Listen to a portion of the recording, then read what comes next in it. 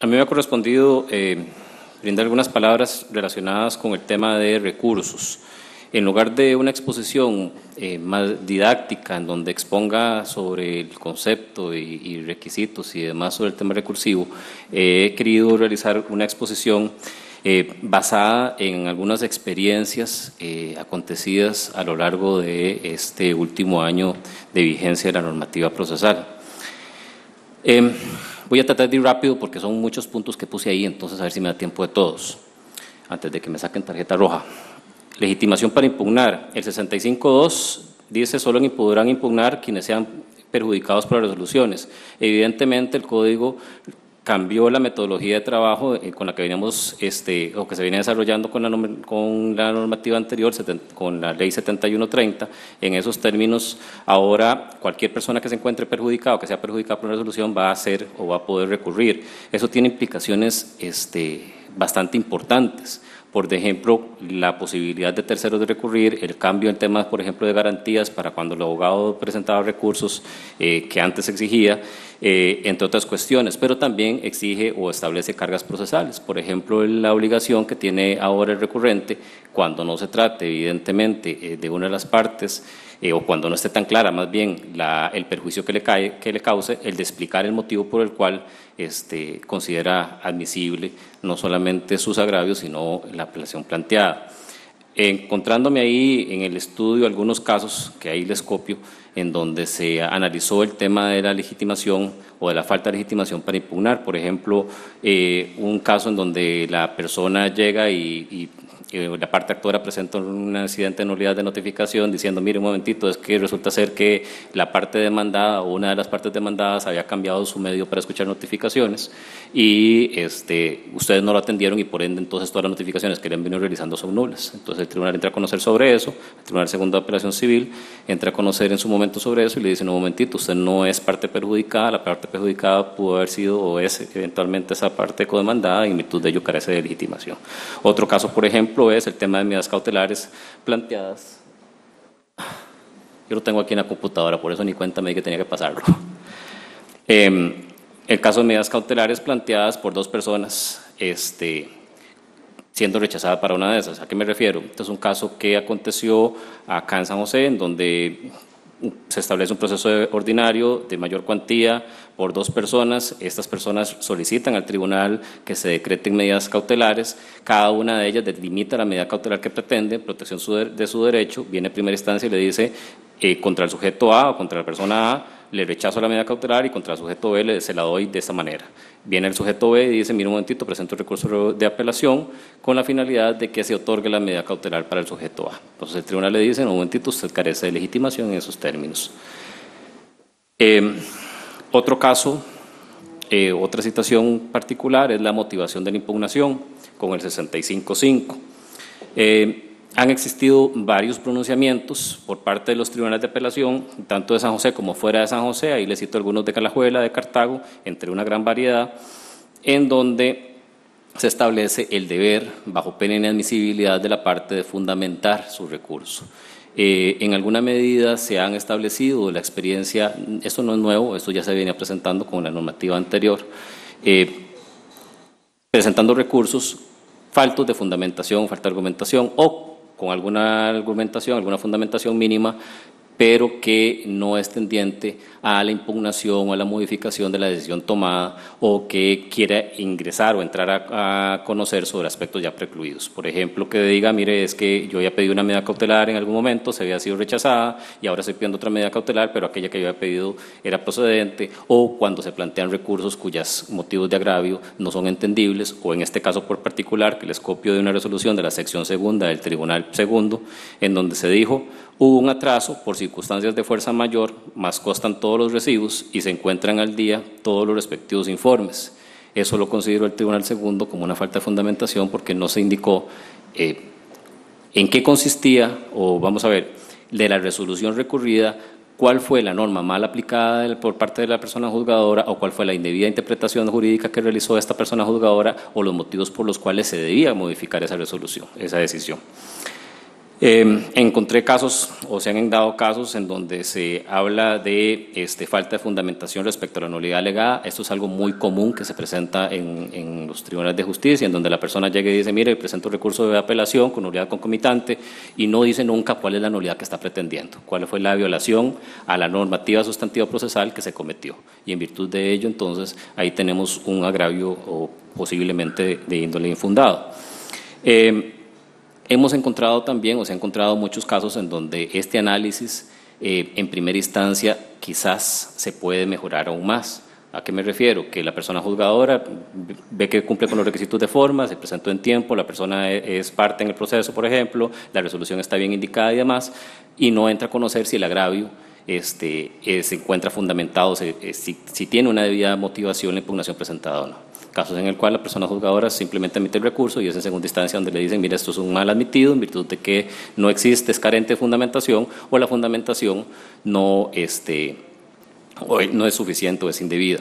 Claro, evidentemente, si el recurso se plantea sin fundamentación, acordándonos que ahora, de conformidad con el artículo 65.5, cuando se presenta el recurso debe de una vez fundamentarse la misma, es muy fácil si la parte llega y simplemente presenta el recurso de apelación, pura y simplemente. Decirle, mire, es que usted no cumple con este artículo y en virtud de ello se lo rechazo.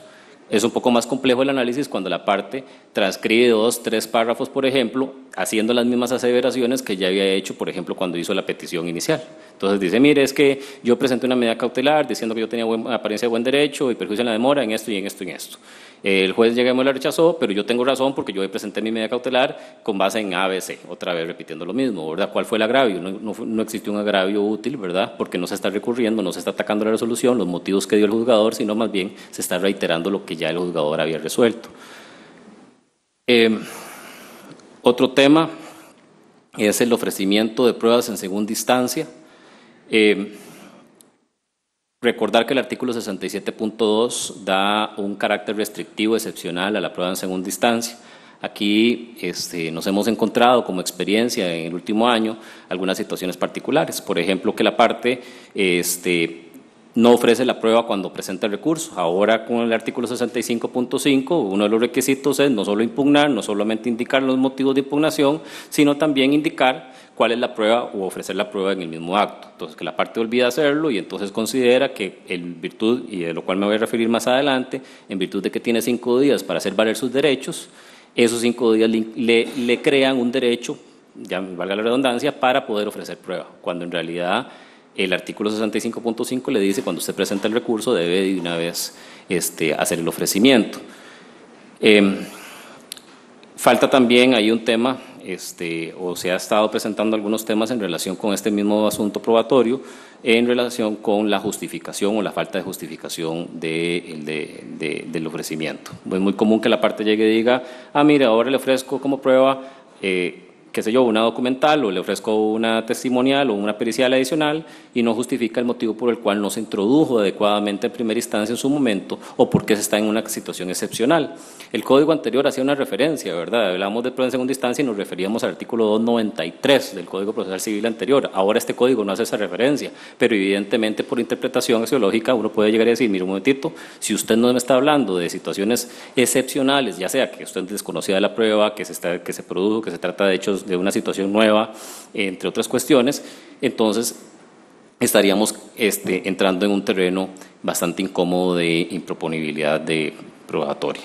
Es muy común, este, eh, o se ha, presentado, se ha presentado muy comúnmente en segunda instancia que se ofrezca como prueba la misma prueba que ya había sido y que se había admitido en primera instancia o que se ofrezca como prueba los propios autos o copias de los documentos o las resoluciones que ya constan en autos. ¿Verdad? También es muy común que la persona llegue, presente su recurso, ofrezca nueva prueba y entonces que entre el tribunal en una, este, en una dicotomía entre si resolver por el fondo el conflicto rechazando la prueba por inadmisible de conformidad con el 67.2 y 65.5 o bien si tiene que resolver previamente resolver por el fondo el tema probatorio. ¿Y esto por qué? Porque al tratarse de un rechazo de prueba, esta resolución podría tener, o tiene más bien recurso revocatoria, se trata de un auto. Eso quiere decir entonces que podría considerarse violatorio el debido proceso que el tribunal en una sola resolución rechace la prueba y se refiere al fondo. En esto ha existido o se han dado algunos criterios en contra, por lo menos mi criterio personal es que tendríamos que analizar cada situación particular porque puede ser un ejercicio abusivo del derecho a ofrecer prueba de la parte o bien inclusive podría ser tratarse de prueba, como les mencionaba anteriormente, que ya consta en el expediente. Recurso oral. El 67.1, me disculpan que vaya tan rápido, pero es que son un montón de filminas. El 67.1 me habla del recurso oral una, este, contra aquellas resoluciones este, que se emitan de forma oral en audiencia. Esta disposición procura la aplicación este, axiológica de uno de los principios procesales llamado concentración. Con ello, entonces, buscamos o conseguimos la celeridad procesal. Claro, presenta algunos inconvenientes. Inconvenientes no para la persona juzgadora, sino para el abogado y abogada litigante. ¿A qué me refiero? Pensemos, por ejemplo, en una solicitud de medida cautelar, la parte llega, la formula ahí oralmente, y le llegue, le chorrea toda la situación fáctica, todas las medidas que quiere, este, porque cumple con los requisitos formales y sustanciales de la solicitud y demás. Viene la parte, se refiere y dice, no, un momentito, hay que rechazarle y demás. El juez entra por el fondo, rechaza o admite la medida de forma oral y la parte tiene que presentar el recurso ahí mismo. Entonces, mientras el abogado y abogada acomoda todas sus ideas para poder presentar el recurso, evidentemente entonces entra en una situación muy incómoda. ¿Qué debe ser alegado como agravio y qué no? ¿Cómo va a plantear sus agravios y qué no? ¿Cómo va a ofrecer, por ejemplo, la prueba? ¿O qué prueba va a ofrecer? Si todo le está causando, a pesar de que existe inmediación, a pesar de que existe concentración, es mucha información, en algunos casos, no estoy diciendo todos, pero en algunos casos es mucha información para que el abogado o abogada pueda actuar de forma inmediata. Entonces ahí hay situaciones particulares. Por ejemplo, hemos tenido la experiencia de que el recurso se plantea y lo que son, eh, lo que, en lo que se resume el mismo es en cinco líneas, cuando ya se hace la transcripción. Y viene el abogado o abogada posteriormente en los cinco días para, para hacer valer sus derechos y amplía todos sus agravios. Entonces se entra en una discusión si ese plazo de los cinco días es precisamente para que haga valer sus derechos, eh, para, perdón, de, de, hacer valer sus derechos es para que emita sus agravios. Evidentemente no, porque el artículo 65.5 que mencionaba anteriormente le dice usted tiene que haber dicho todo en su momento de forma oral. Entonces aquí, ¿qué, qué podría pasar? Que el abogado le diga a la persona juzgadora, un momentito, yo necesito cinco minutos para poder organizar mis ideas, le estoy presentando recurso de revocatoria con apelación o apelación según proceda necesito cinco minutos para poder organizar mis ideas con la finalidad de poder justificar, argumentar válidamente los agravios, presentar la prueba que corresponde y demás, porque eso se trata de un asunto complejo, etcétera, etcétera, etcétera. Esto permitiría, por un lado, al abogado o abogada poder llegar, plantear un recurso adecuado, por otro lado, permite al juez poder concederle el plazo adecuado para que esta persona lo haga, si, es viable, si se considera viable de acuerdo a las circunstancias, evidentemente, ¿verdad? Ahí hay otro tema. ¿Será que la persona juzgadora le permite al abogado o abogada hacer esa gestión? Desde mi punto de vista, no sería descabellado considerarla. ¿Y por qué no es desconsiderado, desconsiderado pensar en ella? Porque el código en el 52 me dice que el juez, para poder resolver sus situaciones complejas que se le presenten en la audiencia, puede suspender la audiencia, puede suspender la misma. Entonces, si la persona juzgadora tiene la potestad para poder suspender un momentito, ir a revisar el código, ir a ver qué hace, ¿por qué no podría la persona abogada litigante en un debido proceso, en un debido, en un en principio de buena fe, poder llegar y decirle, tómese un par de minutos para que pueda plantear sus recursos adecuadamente? Em, otro tema ahí, la admisión de la apelación, ¿cómo voy con el tiempo? Ya casi. Eh, admisión de la apelación con el 67.1, que es el que le he venido mencionando ya reiteradamente, dice, sin necesidad de resolución expresa, las partes deberán comparecer ante el superior a hacer valer sus derechos dentro del quinto día. Pareciera ser que se ha interpretado que esos cinco días es el viejo plazo de tres días que le concedían antes en los autos para que hiciera valer sus derechos o agravios, cosa que ya vía jurisprudencial el tribunal había indicado desde hace vieja data que no procedía en virtud de los autos y era solo admisible para el tema de sentencias o autos con ese carácter. Em, pero se ha venido utilizando en alguna medida para ello, para ampliar los agravios, para modificarlos, para ofrecer el ofrecimiento de prueba que no se ha podido.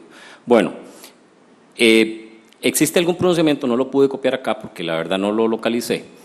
Eh, en donde se ha abordado este tema y se ha dicho, mire, no, el plazo para hacer valer sus derechos no es un plazo para la persona, es un plazo que puede ser utilizado por la persona que recurre, pero no es esencialmente para esta persona, es más bien para la contraparte. ¿A qué me refiero? Viene el sujeto A, presenta un recurso de apelación, el recurso es admitido, una vez que ha sido admitido, la parte contraria, la parte B, llamémosle, ¿cuándo se ha podido pronunciar en respecto al recurso presentado por A? En ningún momento, porque el recurso fue admitido, fue resuelto de forma inmediata. Ese es el momento adecuado en el cual la parte B puede llegar al tribunal y decir, no, momentito, ese recurso por A no tiene ni pie ni cabeza por esto y esto y esto.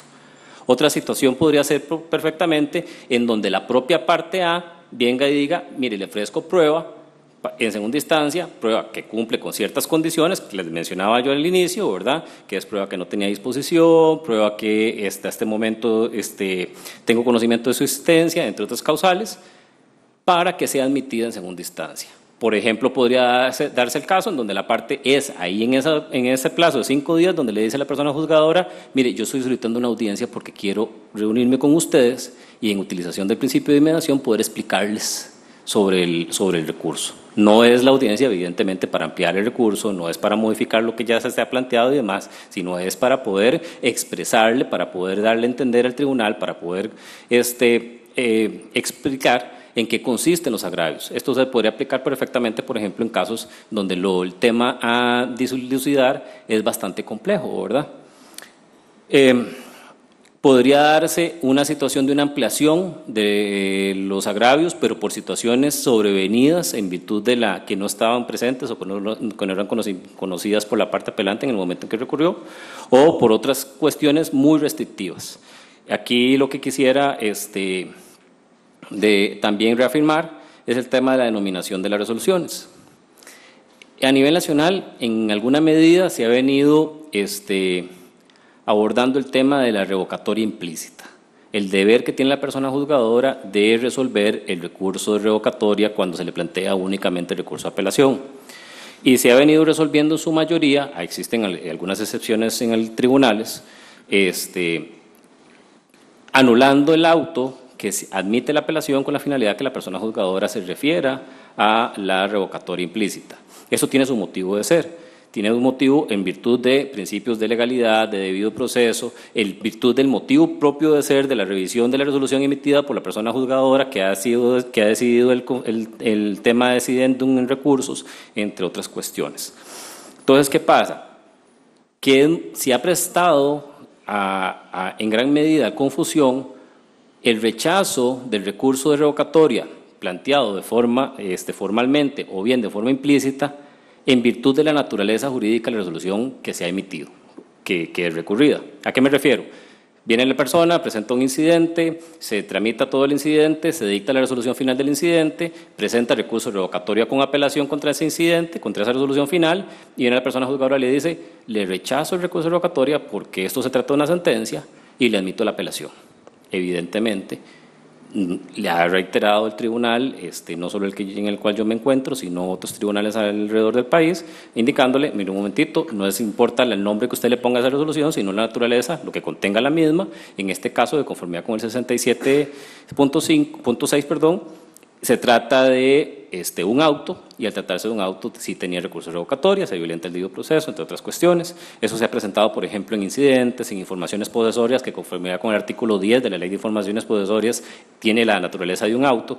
Eh, la fijación de costas, por ejemplo, en algún momento algún tribunal llegó y emitió una aprobación de costas de un proceso de, ordinario en etapa de ejecución y le dijo, esto es una sentencia, así lo tituló como sentencia, la parte presentó revocatoria como apelación y el tribunal le dijo, le rechazo la revocatoria porque es una sentencia.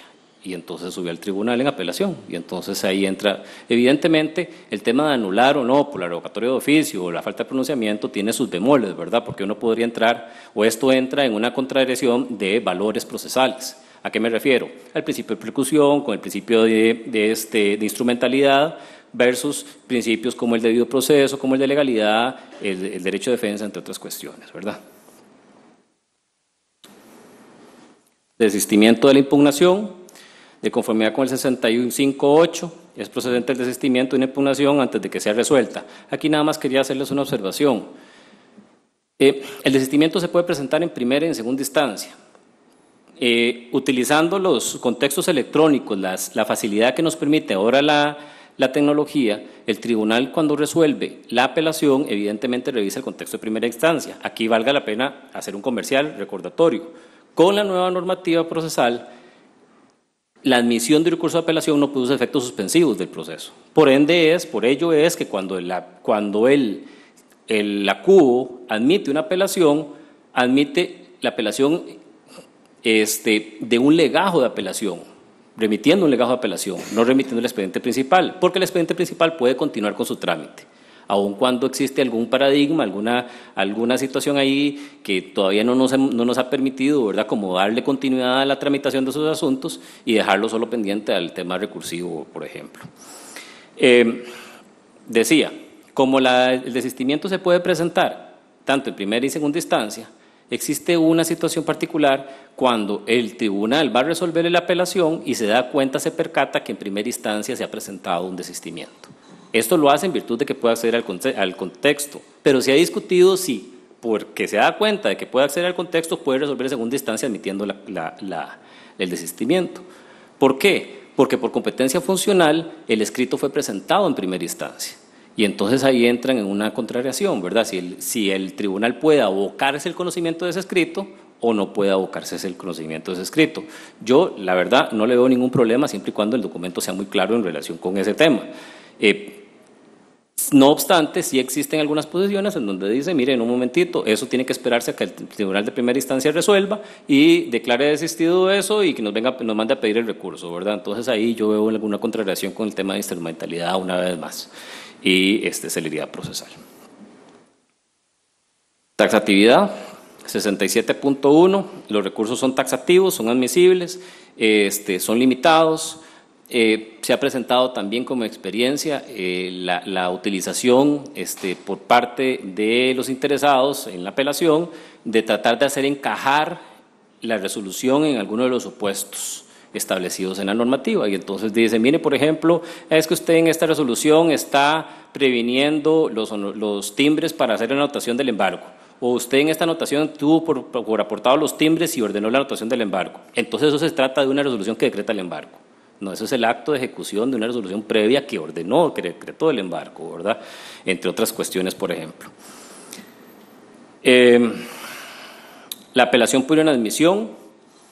Eh, nos hemos encontrado casos o situaciones particulares en donde la primera instancia se ha encargado de resolver la apelación por inadmisión.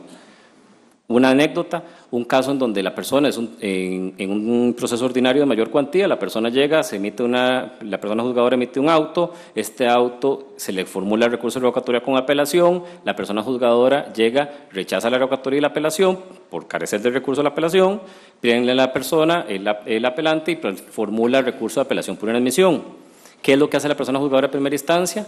Resuelve la apelación por una admisión y le dice, esta resolución no tiene recurso en virtud de que no están esas causales. ¿Y qué hace la persona recurrente? Se queda con una mano atrás y otra adelante.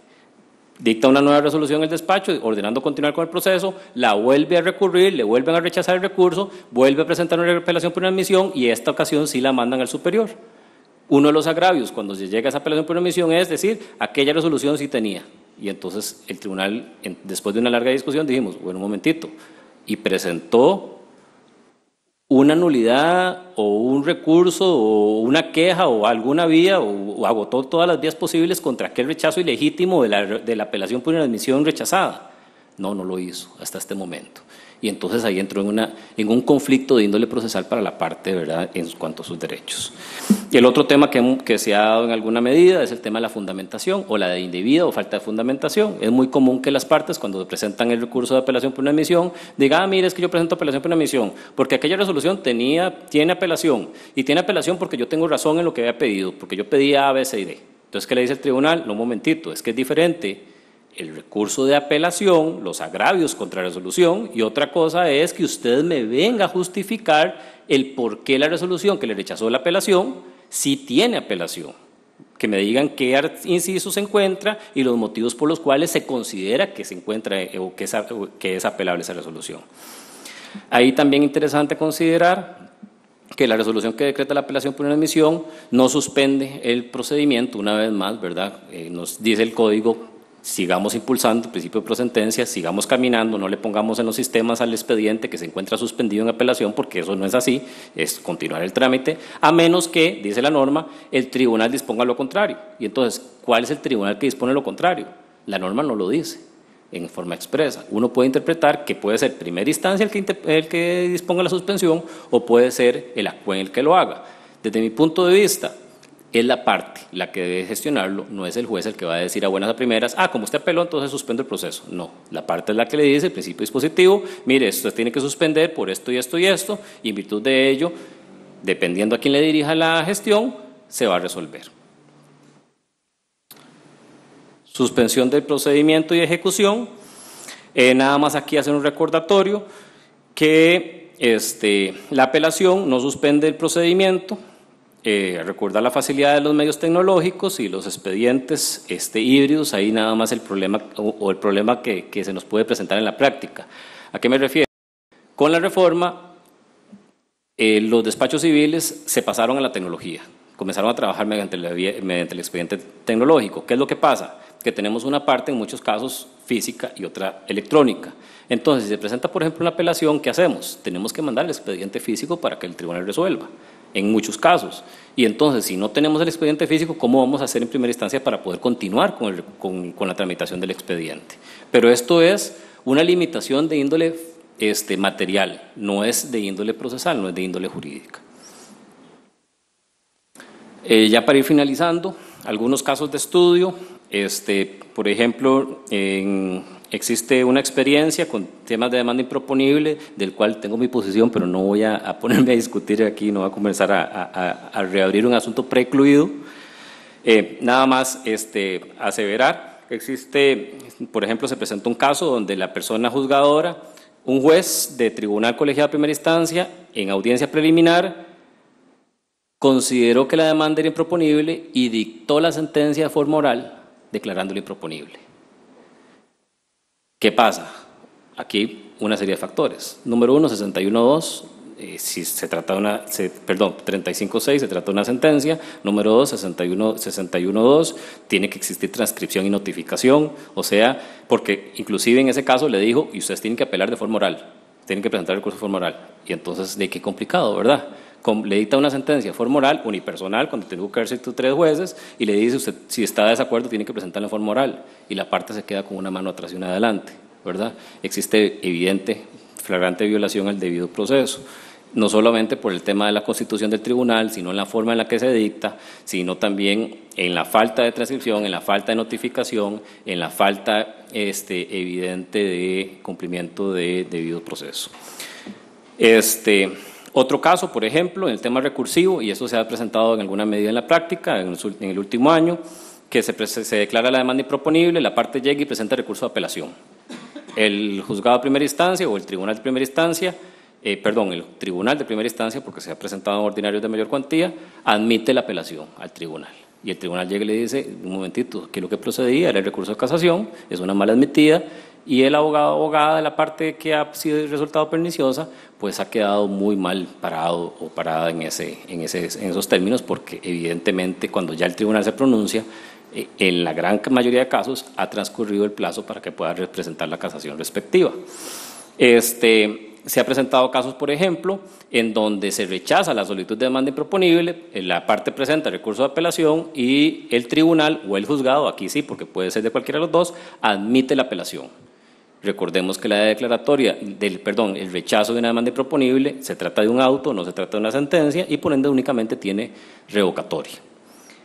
Caso contrario si se admite, si se admite es una sentencia anticipada y como sentencia, si es de menor cuantía o es un proceso diferente al ordinario, tendría apelación y si es un ordinario de mayor cuantía, tendría casación. En, este, en estos asuntos se han declarado alguna cantidad de este, apelaciones mal admitidas. Ahí tal vez hay algún temilla ahí me acuerdo un par de casos en donde la persona juzgadora eh, dio la audiencia de demanda improponible de oficio y le dijo, ah, yo, quiero, yo, yo creo que aquí podría irse por cosa juzgada y se olvidó de caducidad. Y cuando declaró improponible la demanda, le dijo, y esto es improponible no solo por cosa juzgada, sino también por caducidad. y la parte se quedó así como, ¿y cuando usted me dijo del tema de la caducidad? O, o también este, otro caso este, en, donde, en donde la persona juzgadora, vamos a ver, ¿cuál fue ese otro? Bueno, ahorita, ahorita no recuerdo, si me acuerdo les cuento. Eh, en cuanto al tema, ah bueno, también ya me acordé, este, que se presenta una demanda, eh, ya no ordinario de mayor cuantía, sino de, conocimiento de cualquier otro, y ya voy a terminar. Y este, la persona juzgadora decide, opta por declarar, eh, rechazar de plano el proceso. Entonces, por, falta de cumplimiento de algunos presupuestos de índole material. Y entonces se le dice, mire, un momentito, ¿y usted cuándo le dijo a la parte? Porque la parte, uno de los agravios fue, mire, usted no me está diciendo, no me dijo porque yo podía modificarla, la demanda, en su momento. Eh, ese agravio se tuvo que entrar y decirle, mire, si la demanda era modificable en su momento, entonces lo que correspondía aquí era hacerle la prevención. Eh, por ejemplo, otro caso de, estudio es la declaratoria de infundada en procesos monitorios dinerarios y monitorios de arrendaticios. Eh, los tribunales, en el estudio realizado, se han decantado por indicar que carece de apelación y esto, aunque suene ya, rechinado, porque ya venía viejo la ley de cobro, es bueno, es válido recalcarlo, porque el inciso 3 del artículo este 67.3 eh, me establece que tiene apelación la, resolución que, perdón, el inciso 2, que ponga fin al proceso por cualquier causa. Entonces se ha entrado en discusión si la resolución que declara infundada una posición pone fin al proceso, porque entonces, en tesis de principio, según algunos puntos de vista, pone fin a la etapa de conocimiento. Bueno, eh, la mayoría del tribunal, de los tribunales, mi persona con este, incluyendo, eh, ha considerado que no, que esta resolución eh, que declara infundada carece de apelación. Hay tal vez un solo una excepción, un caso unipersonal del Tribunal Segundo de Apelación Civil de San José, en donde, en el único caso que, encuentro y que recuerdo, que en donde dijo si tiene apelación y le entró por el fondo, ¿verdad? Eh, sentencias en ordinarios de mayor cuantía, el tema de recursos, que pasa muy, algo muy similar a lo que les mencionaba sobre el tema de la demanda improponible.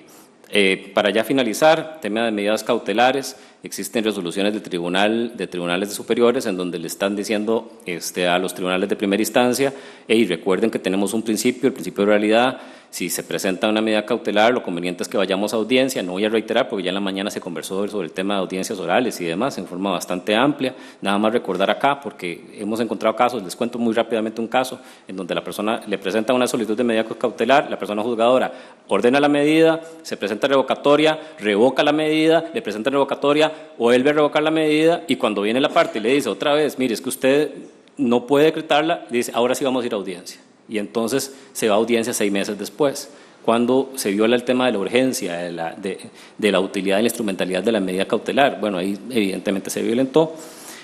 Eh, inadmisibilidad por falta de documentos de ejecución. Vale la pena rescatar un voto reciente, el voto 1200 del 2019 del Tribunal Primero Civil, el único que he visto por el momento, en donde le dice, mire, cuando falta un documento de ejecución, por ejemplo, aquella certificación de que las inscripciones no están modificadas o canceladas, en lugar de rechazar de plano, prevengan yo comparto ese voto en virtud del principio de instrumentalidad, concentración, en principio de la transversalidad del derecho procesal actual, entre otras cuestiones. Tengo que decir que la, tónica a nivel nacional eh, general o mayoritaria ha sido rechazar de plano, de lo cual este considero no, no es lo, por lo menos las, las líneas transversales del código así no lo establecen. Eh, eh, un voto del Tribunal Primero en donde dice que no todo necesariamente tiene que irse a audiencia, el cual también comparto, ¿verdad? Hay algunas situaciones particulares que no valen la pena, por ejemplo, de puro derecho, por ejemplo, una situación, creo que este caso era una, una prescripción de intereses, una cosa así, ¿verdad, don Álvaro? Y entonces le dijeron, mire, ¿usted para qué ir a una audiencia a resolver una prescripción de intereses cuando lo puede hacer de forma escrita de una vez, más rápido? Eh, un voto del Tribunal de Cartago en donde le está diciendo a primera instancia, mire, tampoco es que puede resolverlo todo por escrito hay actos procesales conforme al código que tiene que resolverlos de forma oral y entonces les manda a hacerlo, manda a cumplir con el tema de la audiencia preliminar. Eh, ya para finalizar, porque ya se me fue el tiempo hace ratos, este, el tema de la revocatoria, muy rápidamente. Viera que eh, uno que está escuchando constantemente las grabaciones de primera instancia, yo me siento muy, muy satisfecho, me siento, este, me llena en gran medida escuchar cómo las personas juzgadoras se han empoderado cada vez más de la normativa, de las, del uso de los derechos de, los, de las potestades jurisdiccionales. Y no estoy hablando solamente del tema recursivo, pero inclusive el tema recursivo. Van a audiencia, no tienen miedo, se les escucha seguros, seguras a la hora de resolver, se toman sus pausas, sus momentos. Eh, para poder abordar cada uno de los asuntos que han sido objeto de discordias, se fundamentan las resoluciones que toman, cuando se presentan revocatorias se toman su tiempo para ir para, afinar algunos detalles, entre otras cuestiones. Evidentemente, como reto, eh, este código todavía le falta, eh, decía, decía, dice don José Rodolfo León, que el código no solo ya gatea, sino que camina y salió malcriado, ¿verdad? Ya está malas palabras dice, efectivamente, estamos, este, vamos muy rápido y evidentemente todavía nos falta todavía más que, que, ahondar en algunas normas este, del derecho procesal que, que, como reto se nos presenta. No obstante, quisiera hacer o quise hacer esta última observación porque la considero muy válida para los efectos nuestros como personas juzgadoras. Eh, no es válido únicamente decir las cosas malas que han pasado. Han pasado muchas cosas buenas y por lo menos desde mi experiencia en la escucha de las audiencias, tengo que decir que en la gran mayoría de experiencias han sido muy gratas. Muchas gracias.